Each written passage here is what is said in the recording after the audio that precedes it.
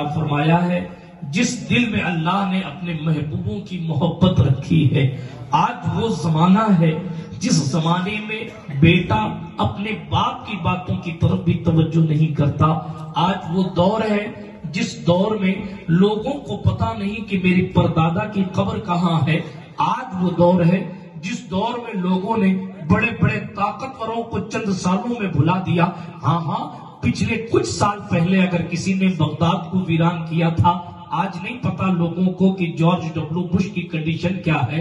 कल जिसके नाचने पर दुनिया फिदा थी, आज नहीं पता लोगों को कि माइकल जैक्सन कहाँ है। कल जिसकी अयाशी पर दुनिया जो है दाद दिया करती थी, आज उन लोगों की कब्रों का पता नहीं। कल जिनके माल पर लोग अश अश करते थे और तमन्ना करते थे, काश इतना पैसा हमारे पास भी आ जाए। आज लोगों ने उन्हें यकसर भुला दिया। क्या वजह है?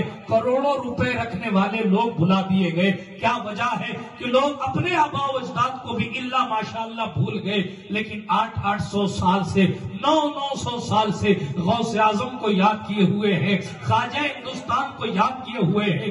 आखिर वो क्या चीज़ है? जिस चीज़ ने लोगों के दिलों में घर कर रखा है। आखिर वो क्या चीज़ है कि इतने सालों बाद भी लोगों को अपने परदादा का पता नहीं। लेकिन जनाबे वाला चौखट पर बैठकर अगर आप ये पूछे कि बेटा